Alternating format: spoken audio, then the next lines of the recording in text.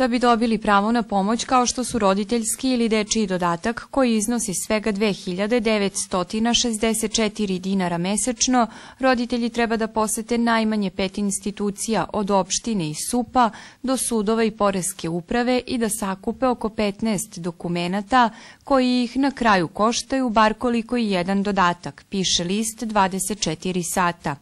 Beograđanka MJ, majka četvoromesečne bebe, već mesecima skuplja papire koji su joj potrebni za jednokratnu pomoć od 35.000 dinara i još nije pribavila sve, piše list 24 sata.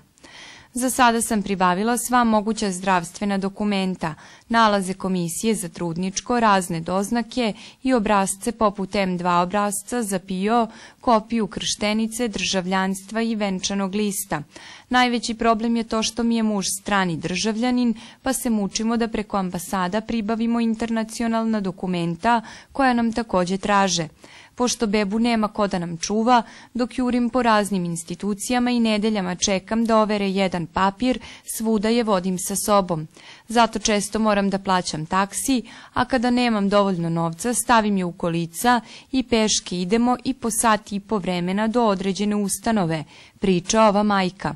Najveći absurd bio je, kaže, kada je po uverenje da joj dete nije oduzeto morala dva puta da odlazi u sud, a onda je po isti taj dokument morala dva puta da ide i u socijalno.